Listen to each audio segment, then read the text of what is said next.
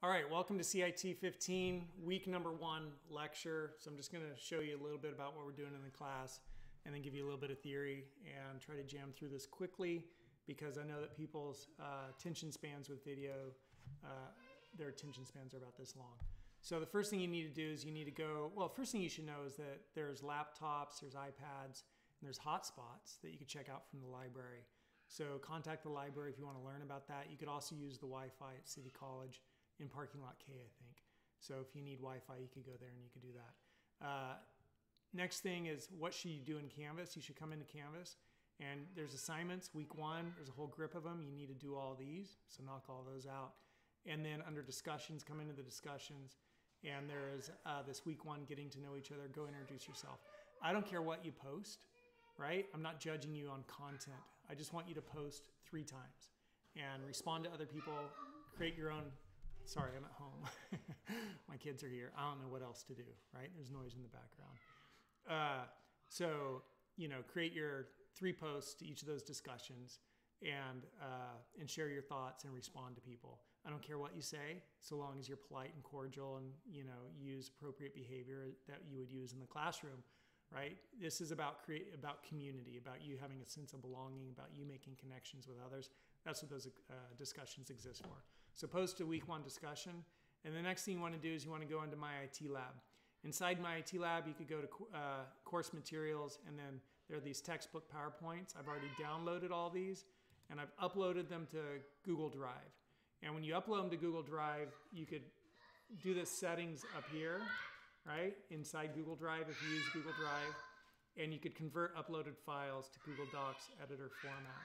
So go ahead and, you know, if you don't have PowerPoint on your computer, uh, you could upload them to Google Drive and it'll automatically convert them for you. So I've downloaded the, the PowerPoints and we're gonna go through one of those in a second. And, uh, and then also here inside course materials, there's the e-textbook and we'll also take a gander at that. And then the main thing you wanna do is inside Windows 10, there's an exam. You need to take this exam. Okay? I don't care about the training. If you don't pass the exam, go back and do the training. It'll teach you what you're supposed to do in the exam and then come back and take the exam. You can take the exam as many times as you want. And the computer, my IT lab, will always keep your most recent score. So do that exam. And then you also have a quiz, and the quiz is for here under this big exams, chapter quiz do chapter 01 quiz. So that's what you need to do this week. Okay? So next thing we're going to do is we're going to talk a little bit of theory. And so if you feel like you got it, cruise on. If you want to hear a little bit about, you know, computers and and going through this material together, you can hang out. Um, I encourage you to hang out. So uh, one of the first things I like to talk about when it comes to technology is um, is that bam. We'll look at that in a second is that tech is a tool, right? And so, kind of like if you're going to learn to use any tool, like if you're going to the hardware store and they're going to teach you how to use a saw, right? A saw is a tool, or a chainsaw is a tool, or a drill is a tool. And if you use the tool, tool well, it will help you. And if you don't use the tool correctly, it will kill you, right? It will mortally wound you if you do not use a saw correctly. It will mortally wound you. And likewise, um, you know, what's another tool? Like a handgun's a tool. And so a gun is a tool. And if you use the gun, the, the tool which is a gun well, it will help you. And so you will be able to hunt and you'll be able to protect yourself and you'll be able to help maintain social order, right? Like these are all skillful uses of a gun. If you do not know how to use the tool well, the tool can mortally wound you. And so, and just as it is with any tool, right? Whether it's from the hardware store or whether it's a firearm, so too it is with the tool, which is technology. If you don't use the tool, which is technology, well, it will mortally wound you. And every day people die because they are not using the tool, which is technology, well. And so, some of the things that you need to know to use the tool, which is technology, well, is that like I want you to check out this video. That's like a crazy, scary looking trailer uh, and the video is uh, uh, text it can wait AT&T. Okay, and so it's this one right here. It's 10 minutes 44 seconds, and I'm just going to open that and I'm going to save it to one of my inspiration deals. And so that's good. So check out this one, and there's the URL right there if you feel impelled to enter it manually. But last text, AT&T, don't text while driving. So people are texting and driving and killing themselves and killing others. They can't help themselves but to look at their phone. And so part of using the tool, which is technology well, is to not look at your phone when you're driving. That's one of the first things. And then there's also another really great video that I want you to watch. It's a movie, and the movie is Disconnect, and here's the trailer for it. And so you could go check out the trailer, Disconnect official trailer 2013, and uh, and this is all about you know um, what's that you know I don't know the Shakespeare quote. There's some Shakespeare quote. Oh, what a web we weave, web we weave, Shakespeare quote. Uh, one of the most quoted excerpts from Scottish poetry is derived from Canto 6, stanza 17, attributed to Shakespeare. Oh, what a tangled web we weave when we first, when first we practice to deceive. I don't know. I thought that was Shakespeare. I guess it's not.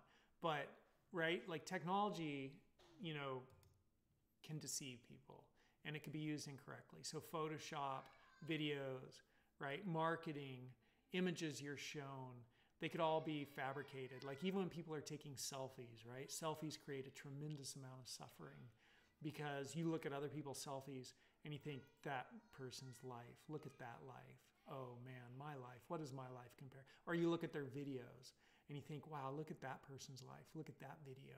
And then you suffer because you're discontent with your own life. But what you aren't, you know, there first of all, there is no equal comparison when you compare your life to somebody else's life. But what you aren't seeing is everything that's not, that was, everything that was edited out. When somebody puts up a photo or a video, right, that's very carefully crafted and composed. You know, they chose a poppy soundtrack for it. They edited out all of the mundane, boring, dull, idiotic, stupid things that they said, right? Like all of the things, right, which make us human, which come with the full part of being human, right? The whole spectrum of being human all gets edited out, right? And all you see is like, wow, that person's beautiful. That person's life is amazing. I want that life. And it creates suffering. So you got to know this tool, which is technology, so you don't fall into that trap. And, uh, and so that's part of what this movie, Disconnect, will start to show you, right? The illusion, the illusion of, um, you know, technology. And what are you believing? and you know people are posting stuff online and it's all consciously crafted for a certain effect and don't don't buy into it so if somebody sends you for instance there's like teenage you know people selling sex online in the movie there's stolen identity in the movie there is um, you know somebody sending naked selfies and then that naked selfie gets posted around to everybody else in that person's school you know, and the psychological ramifications of that for somebody who's a young person. There's online bullying. Like all these things are in this movie, and it's a really engaging, great movie. And so watch it from the context, from the frame of, you know, tech is a tool. Are you using it or is it using you? Like that's really what you got to focus on. Tech is a tool. Are you using it or use or is it using you? We're learning how to use a really powerful tool here more powerful than a handgun, more powerful than a saw, more powerful than a chainsaw, more powerful than a drill. Technology is more powerful than all of that. And if you don't use this tool well, it'll mortally wound you. It can mortally wound you. So, heads up, right, on that first thing. And, uh, you know, so just some of the takeaways from this first lecture. You know, the foundation is you've been given a golden opportunity to even be here at school. There's many people around the world who would love to be in your position, who would love to be able to go to college in America, who would love to be able to work hard every day, improving their life and choosing a career and building a career. Like you've already won the golden opportunity. You are attending a college in America, which is like, you know, 7.8 billion people in the world we are one of the leading nations. And if you go to Gap, and I'm not just you know making this up, right? If you go to gapminder.org and look at tools, uh, they have the health and the wealth of nations. How healthy are people in different nations? How wealthy are people in different nations? And you can see this is for 2019. And so here's life expectancy over on the y axis, right? That's health. And here's income over on the x axis, that's wealth. And, uh, and then here are the different countries. And the color of the balls correspond to the continents, right? So there's Africa. And you can see if you're in Africa, you don't have as much wealth and you don't live as long, right? Like this country right here, you, ha- you live to 63 and you make $838 a year on average. That's their average annual GDP per person. And, uh, and so Africa, that continent. If you're in the green continent, you know, uh, doing a little bit better, right? Here's the Southeast or the Asian continent. Here's like, you know, uh, the European continent. So we, here's the United States, right? Like we live to 78.6 years and we make $56,700 a year in income. Like you've already won the golden ticket. You're in the land of opportunity. And all these people below you would love to be able to go to school, to work hard, to get a degree, to, you know, become a doctor, get their doctorate, become a medical doctor, whatever it is. You have a golden opportunity. And the only thing you need to do to not screw it up is to not quit. right? You just keep coming and you keep working hard and you're going to get through it. And so I mentioned this before, but Angela Duckworth has that book, Grit, Amazon. And you should get this book on Audible and you should listen to it because this is going to show you how to succeed as a, as a student. So check this book out and remember that you've got, you know, there's very few people in the world. We're the largest ball farthest out here. Like maybe if we were in Singapore, you know, our lives might be a little bit better, you know, but then we'd have to deal with fish sauce in all of our food. I don't know. So, uh, Luxembourg, right? You know, but it's pretty great. You've, you've already won. So that's the first thing is don't blow this opportunity. You've got a golden opportunity. No matter who you are, you can take advantage of it. Um, and uh, you know, secret to success: focus, dedication, persistence, grit. Tech is a tool, and uh, we're at a turning point. So just ignore all this stuff down here. So that's like the first bit. Okay, that's the first bit. Tech is a tool. Check out that movie on texting and driving, or that that video AT&T texting and driving. Check out that movie Disconnect. Disconnect. Both very good. The next thing we're going to do is take a look at uh, the PowerPoint for Chapter One in the textbook. Um, you know, various tech tools being used to impact national and global issues, various global social issues that are being affected by technology, how technology is changing, how and why we connect, collaborate with others, right? Like we experience this every day. We know these things social media, Facebook, dating, right? Um, social issues, you know, people, uh, those close to us are sometimes more distant because we're looking at our phone instead of connecting with them. But those who are distant are more close to us because we can video conference with them, right? Social issues like that movie Disconnect is going to go over a lot of those social issues. You'll see them in there. Different technology tools that are being used.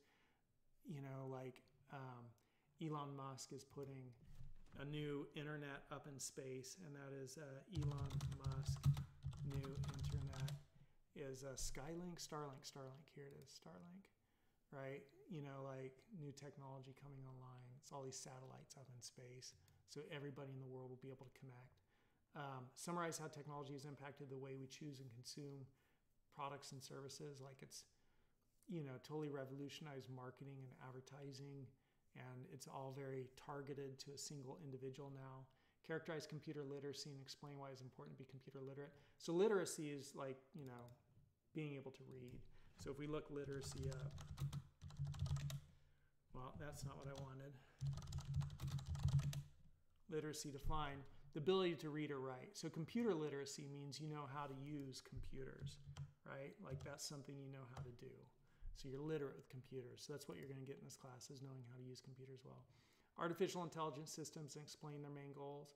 So artificial intelligence is stuff that emulates human intelligence and that might be speech to text, right? So we could talk to our cell phone and the phone is listening to us and then it's taking what we say, and we all have a whole bunch of different accents. So right now I'm talking in my California accent, but if I wanted to, I could start talking in my southern accent, and then the phone's got to be able to figure out just what I'm saying with my southern accent, right? And in New York, there's a different accent, and there's a different accent. Like there's in Scotland, Ireland, there's different English. In England, there's different English accents, and the phone can listen and figure out what the heck people are saying. It's amazing. So that's emulating human intelligence, right? That's artificial intelligence. And um, it's intelligence, which is artificial, artificial intelligence, right?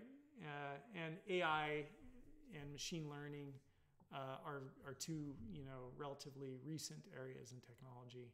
And so, you know, visual recognition, auditory recognition, um, you know, self-driving cars, uh, all that stuff, you know, that's coming. So what's that world going to look like when we have trucks? We no longer need truck drivers and buses. We no longer need bus drivers, and we don't have to drive ourselves, but the car becomes like a living room where we hang out as it transports us from one place to another. Uh, ethics we'll talk about uh, further into the course, and uh, you know, but it touches on it in this chapter. Describe influences on the development of your personal ethics. Present examples of how tech creates ethical challenges ethical challenges arise no matter where you are in life. So I'm just going to power through these. I don't know how many there are. Let's take a gander just so we kind of touch on everything briefly. There's 27. Uh, technology and a global, you know, accelerating change around the world, galvanizing people in new ways. Galvanizing. It's kind of an interesting word.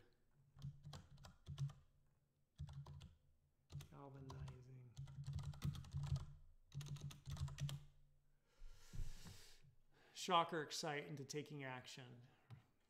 Cast iron or steel with protective layers of zinc. And so, um, shocking and exciting people into taking action. So, we're, we're seeing like something called filter bubbles. And so, filter bubbles, there's a YouTube talk on that and TED Talk. TED Talk filter bubbles. Beware online filter bubbles, okay? Nine years ago. And so basically, there's a unique internet for everybody. And, you know, Google, Facebook, Twitter, YouTube shows me what I'm interested in. And so let's just say that I am, and you know, I'm just making this up here, but let's just say I'm a liberal and I'm really into liberal politics. If a website kept showing me things about conservative perspectives, I wouldn't want to go to that website. I'd be like, this website just frustrates me, right? Because all it does is show me conservative stuff. And so we get these tribes, these encampments, people become entrenched in their own little filters of how they see the world, where liberals are only seeing liberal stuff and conservatives are only seeing conservative stuff.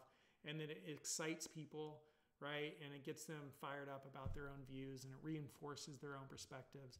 And so we've lost this nice dialogue in society where we, we were presented with a moderate perspective of the evening news, right? Where it was like, you know, objective, a little bit of each, you know, and that rounded us out. Now we're just galvanized. We're in one position or another because all we see is our perspective reinforced. And the businesses, the web businesses, do that because if they show consumers what they don't like, those consumers won't go to that site anymore. It's called filter bubbles. Uh, social networking tools enable groups to connect and exchange ideas. Crisis mapping tools collect and map information. Healthcare, environment, digital divides. The digital divide is those who have technology and those who do not, right? So on one side of town, the rich side of town, people are going to have more access to computers. They're going to be more in the home. On the poor side of town, they're going to have less access to computers. Um, that's the digital divide. And uh, I'm just looking through these, you know, all kinds of changes. So a lot of this stuff, not you know, I mean, you see this stuff, uh, access versus ownership, right? You could rent just a scooter or a car, car sharing, just for a quick period of time. Understand capabilities and limitations, know how to use safely and efficiently. Ability to acquire and apply knowledge and skills. Artificial systems or machines which perform tasks usually associated with human intelligence. Um, and the goal of 1950s was to create a machine that could think like humans. And so there's this test called the Turing test, and it's named after Alan Turing. And maybe one of the movies I suggest you watch later on, if you're kind of into learning about this, is you could check out uh, Beautiful Mind. Beautiful, B E A U, Beautiful Mind trailer. And that talks about Alan Turing. Or you could also talk, check out um, Bletchley Park You can check out both of them. The Bletchley Circle, the Imitation Game. I guess it's called the Imitation Game, and that's about Bletchley Park. Um, but those are both about Alan Turing, who's a brilliant mathematician, helped crack the Enigma, the Nazis' code in World War II, and he was then later persecuted because he was homosexual, and uh, and he was either killed or he committed suicide because of that persecution. But he came up uh, with I don't know he he invented one of the first computers, and then he also this idea of machine learning and artificial intelligence. There's a Turing test, and the Turing test is if you were to interact with me, and you cannot tell if I'm a machine or a human right? And if a machine tricks a human into thinking that the machine is human, then that is a sign of artificial intelligence. That was the Turing test. So that's uh, natural language processing, like hearing stuff, right? Being able to turn what it hears and to understand the context of what's being said. Perception, sight, seeing things, perceiving the environment. Knowledge representation, right? Knowing different things and understanding the difference between a hot dog and a hot dog. right? Uh, or understanding the difference, classic one in English, between let's eat grandma and let's eat grandma, right? Understanding the difference, right? Uh, planning, problem solving, learning, all, all domains of artificial intelligence and machine learning, and different ways they're going about doing it. You know, some of the ways they're trying to develop artificial learning. Um, so data mining being an AI, you know, programming is a great career to go into. And if you are into programming, a good place to start is uh, you could just go to uh, Udemy Todd McLeod and then uh, take this course right here, uh, VS Code. If you're just getting into programming or interested in exploring it, right here, Visual Studio Code, take that course. And then after you take that course, come in here and take this course right here, Go. And uh, you could start to get into technology. Um, just looking through this, some of the ways technology is used medicine, psychology, ethics, and we'll talk about ethics later. I'm just looking to see what this says. Formal written standards designed to apply to everyone, uh, not conforming to. So, ethics is standards of behavior. Um, determining your ethics. We'll talk about ethics later. Intellectual property, privacy. Uh, so intellectual property, we'll talk about that later. Uh, liability, censorship, social justice, social activism, and then that's at the end. All right, so that's a little bit of chapter one. And now what we're going to do is we're just going to take a quick look at this quiz. And I might not do all these for you, but I might do some. There's 57 questions. So tools gather information from sources such as email, text messages, and tweets and make the information instantly and publicly available for use in emergencies. That would be, uh, I'd say, crisis mapping. You know, a lot of stuff you could just kind of figure out. Tools enable people to connect and exchange ideas, on social media. The gap in the ease of access to the internet and technology is known as the digital divide. The next Einstein Initiative and the Institute of Mathematical Sciences bring bright young learners and best lecturers in the world together. I don't know. Uh, Canadian Institute of Mathematical Sciences, Computer Institute, Aust- Austrian, African, I have no idea. I'm just going to say Canadian. You know, I might Google that if I wanted to find the answer. I don't know the answer to that one. Results when leisure time and available tools allow us to engage in creative acts. Um, cognitive surplus. And is a nickname for social media tools which allow users to co- contribute content e- e- easily. That's Web 2.0. Right? So you kind of get it, you know? And if you don't know this stuff, you can go back in the textbook and you can reference it. All right, that's it. 23 minutes. Not bad. Most important takeaway is text a tool. Do you use it or does it use you? right? You got to be careful.